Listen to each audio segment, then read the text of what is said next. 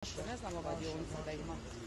To je ovdje gore vratiti. E, ne, neka, neka pomognu ovi ljudi da se, da se ovaj, to malo raščisti, da mogu iznijeti ljude.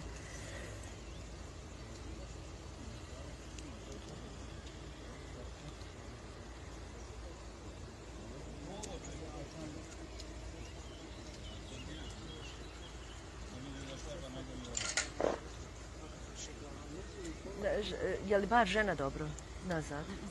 Nije niko Nije dobro. svjesna uopće. Ona ovaj diše naprijed što je ono krklja. Da. Suvozana. Nogu sa gasa.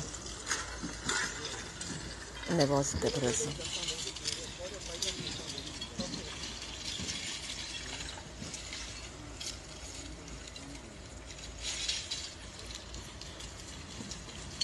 Se samo ostaje da molimo Boga da čovjek preživi.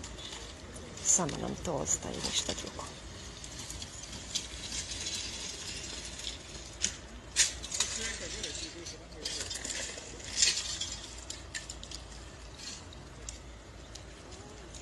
Vi ste medicinska sestra, jel? Da, ali niste osjetili puls ništa. jel? Ja, da, u kod vozača ja nisam. A ko ima još u autu? Naš nazad žena. Nazad. Oni su polegli. Neko je poleglo ili ona u stvari od udara, ali ne znam. I ima jedan isto suvozač, ali on je već krklja. Ima sustav krvi.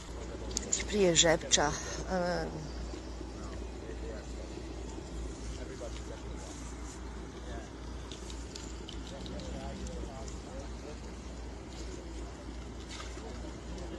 Ne može se ni kamion pomjeriti, ne smije, a ja se nadam da će oni moći da ih izvuku.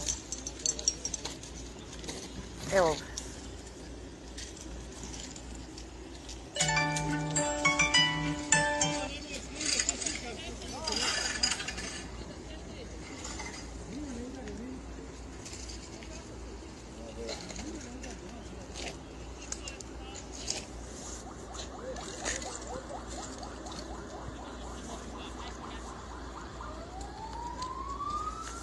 još jedne hitne.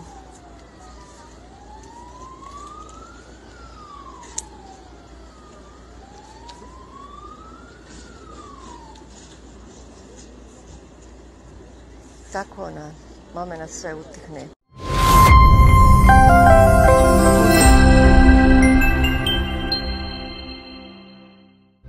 Nula, sedam, dva, info, tačka, kom.